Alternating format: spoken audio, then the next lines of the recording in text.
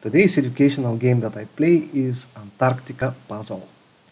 Or I will sort the countries or the territories claimed by different countries in Antarctica continent.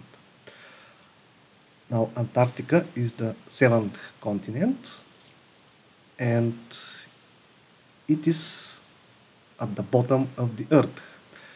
It is also very cold there. So there is no living population in Antarctica.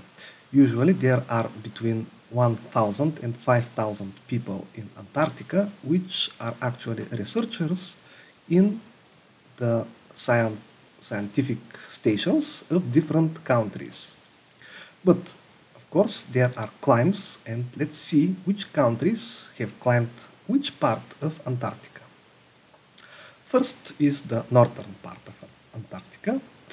It's climbed, climbed by Norway and it is Queen Maud Land. Well, Norway is a northern country, so they are pretty comfortable comfortable there, yes. then we have Ross Dependency.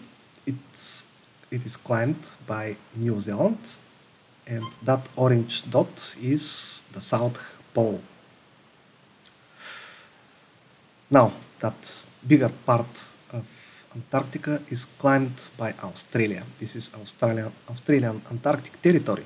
And it is, well, it's common sense because um, Australia is pretty near, very near. Actually, if you have played Pangea Puzzle, uh, some million years ago, Antarctica have been almost, well, not almost, but it have been merged with Australia. So, now let's see the western part. It is interesting. We have Argentina. This is Argentine Antarctica. Well, this uh, location. So to the what's that? Northwest there is the bottom of South America. And there are Argentina and Chile.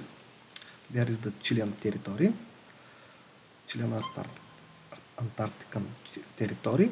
And to the north east we have Australia. Right. Now of course we have British Antarctica. There are British research stations. the Peter One Island is also climbed by Norway. And France have climbed the bottom right part of Antarctica. a small part of the bottom right.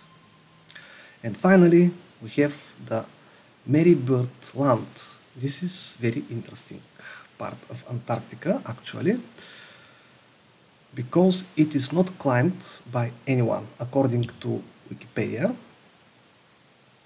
It is unclimbed territory.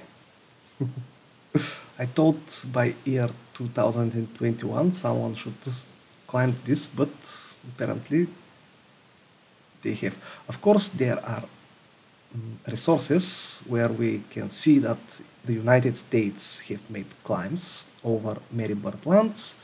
Also, there have been, and I still there, I still, I think there is still a Russian base there. But of course, I also have climbed Marie Byrd lands. So one day when I win the lottery, I will make my own research station there. so this is the Marie Byrd land. Let's place it. And these are most of the climbs. I think they are actually all of the climbs. Yes. In Antarctica. This is the knowledge dosage for today. Until new meetings then.